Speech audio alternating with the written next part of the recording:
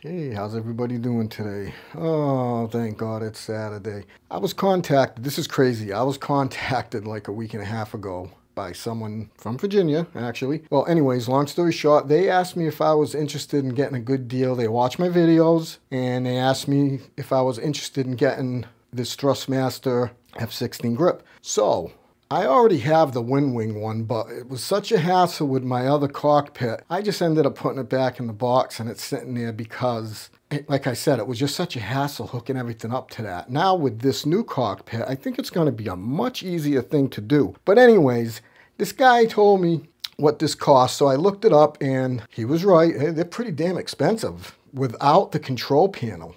And I was actually, now that I think about it, I'm actually glad it didn't have it because what I think I'm going to do is I was looking at it and just keep this real sharp, but now they make this base metal. Before it looked like it was plastic. But anyways, I'm going to put a two inch piece of probably quarter inch steel plate from there to there so I can leave this open without having this thing there put it on one of my mounts and put it on a slide bracket so I can slide it back and forth, use my controls on my F-18 and my PTO 2, my WinWing setup. All I basically need is the handle.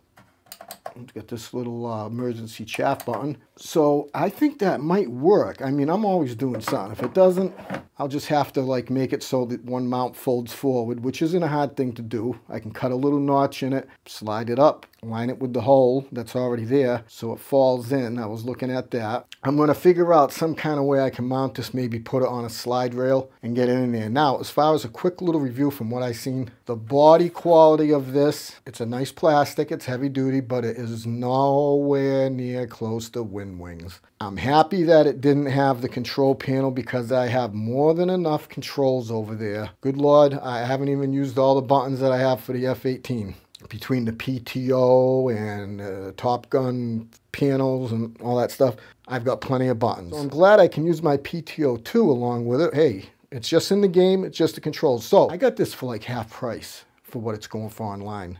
I was a little worried it was going to come and it wasn't even going to work. I, but for the price, I took the chance. I hooked it up, updated the uh, firmware. Obviously, guy didn't do it. It still had the plastic all on it. I peeled that off that little, it feels definitely different than the Winwing. The Winwing, the, the roller bearing, the wheel, that glides on the WinWing. It's on a nylon bearing, so it's a lot softer, it's a lot quieter, a little bit smoother. And I kind of, I'm not really fond of the way you tighten the friction on this. I think they could have used the heavier duty Allen key screw that goes in there, that little tiny thing really, they, they could have definitely beefed that up a little bit more, but I'm not saying it's bad. As far as the handle, my biggest gripe with Winwing is they put, now this is my biggest gripe with a lot of aftermarket companies that try to do these one-for-ones and stuff like that. They always got to throw their own ideas in. People are flying a simulator because they want to simulate the real thing. Now, does it come in handy? Yeah, you got this little thing right here they added in. I guess I could probably put a zoom on that, which I already have on the other control. And instead of having the push buttons, little, they're like little nipples, little tabs under there, little nipples. And they put a little handle.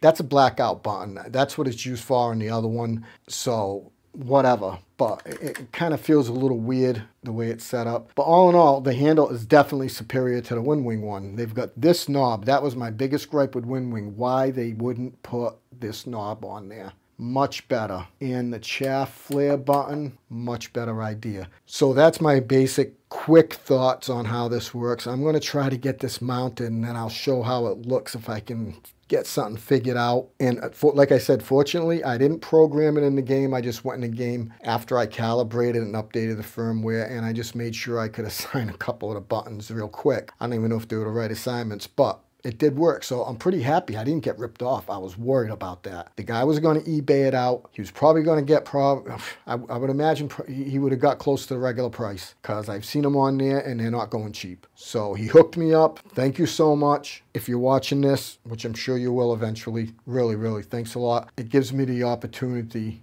to review this product at the same time and I get to try to align everything over there and come up with some kind of idea so I can have my F18 set up and get my F16 set up. I just got a WinWing F16 grip. I ordered this from WinWing about a week ago. No, two, no, what am I saying? It was more than a couple weeks ago.